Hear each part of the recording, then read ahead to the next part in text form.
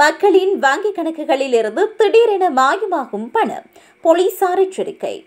பிரான்சில் பல்லாயிரக்கணக்கான யூரோக்களை ஏமாற்றும் புதிய மோசடி கண்டுபிடிக்கப்பட்டமை தொடர்பில் பொதுமக்களுக்கு எச்சரிக்கை விடுக்கப்பட்டுள்ளது. இந்த மோசடியால் அதிகமான மக்கள் விரைவில் பாதிக்கப்படக்கூடும் என கண்டுபிடிக்கப்பட்டுள்ளதாக போலீசார் தெரிவித்துள்ளனர். மூர்த் ஏ. மொசல் இல் வசிப்பவர்களே இந்த புதிய மோசடியில் அதிகம் பாதிக்கப்பட்டுள்ளதாக தெரிய வந்துள்ளது மோசடி செய்பவர் பொதுமக்களை அழைத்து தான் வாடிக்கையாளரின் வங்கியின் ஆலோசகர் என கூறி நடித்து தகவல்களை பெற்றுக் கொள்கின்றார்கள். வாடிக்கையாளர்களுக்கு நம்பகத்தன்மையை ஏற்படுத்தும் வகையில் மோசடியாளர்கள் அடிக்கடி தொடர்பு கொள்வதாகவும் தெரிய வந்துள்ளது.